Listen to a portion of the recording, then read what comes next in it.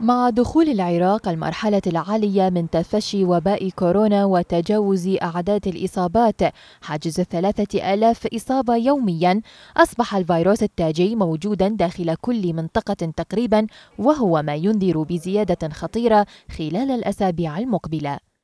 خلية الأزمة النيابية أكدت أن الوباء بات ينتقل بين الناس من دون معرفة مصدر الإصابة حيث ينقل عشرات الأشخاص عدوى الفيروس لعوائلهم دون الشعور بأي أعراض وغالبا ما تأتي العدوى نتيجة عدم التزامهم بالإجراءات الوقائية وعدم التعامل بجدية مع خطورة المرض أو عزوف المرضى عن مراجعة المستشفيات لإجراءات الفحوصات في وقت مبكر.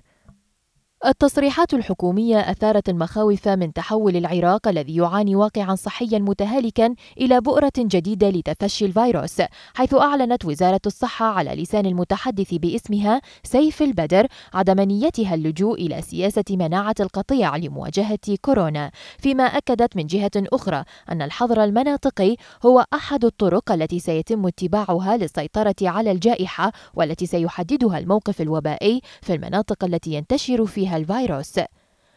التعايش مع الجائحة التي حصدت أرواح أكثر من خمسة آلاف شخص في العراق. يتطلب وعيا شعبيا بأهمية الالتزام بالإجراءات الوقائية والتباعد الاجتماعي والتعامل مع الفيروس كعدو حقيقي يهدد المجتمع إضافة إلى حزم من قبل القوات الأمنية في التعامل مع المخالفين وتوحيد القرارات الرسمية. جميعها من ستحدد تجاوز العراق لخطر الانهيار الكامل.